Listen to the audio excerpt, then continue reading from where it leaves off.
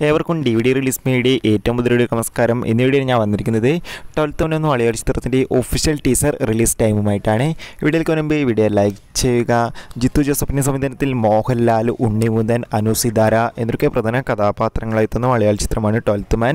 എല്ലാ സിനിമ ആരാധകരും ഏറെ ആകാംക്ഷയോടെയായിരുന്നു ചിത്രത്തിന്റെ ഓരോ അപ്ഡേറ്റും അറിയാൻ കാത്തിരുന്നത്. ചിത്രം ഡിസ്നി പ്ലസ് ഹോട്ട്സ്റ്റാർ എന്ന ഒ ടി ടി പ്ലാറ്റ്ഫോമിലൂടെ ഡയറക്റ്റ് ഒ ടി റിലീസ് ചെയ്യുമെന്ന് ഒഫീഷ്യലായി കൺഫേം ആക്കിയിട്ടുണ്ട്. നിലവിൽ കിട്ടുന്ന റിപ്പോർട്ടുകൾ പ്രകാരം ചിത്രം ഈ വരുന്ന മെയ് മാസം തന്നെ Disney plus ഹോട്ട്സ്റ്റാറിലൂടെ direct O T T release ചെയ്യുമെന്നാണ് അറിയാൻ വേണ്ടി സാധിച്ചിട്ടുള്ളത്.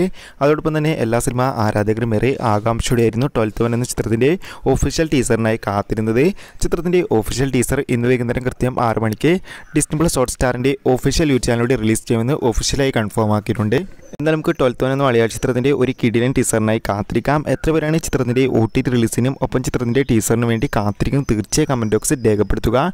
അടുത്തൊരു കാണുമ്പോൾ എല്ലാവർക്കും ബൈ താങ്ക്സ് ഫോർ വാച്ചിങ്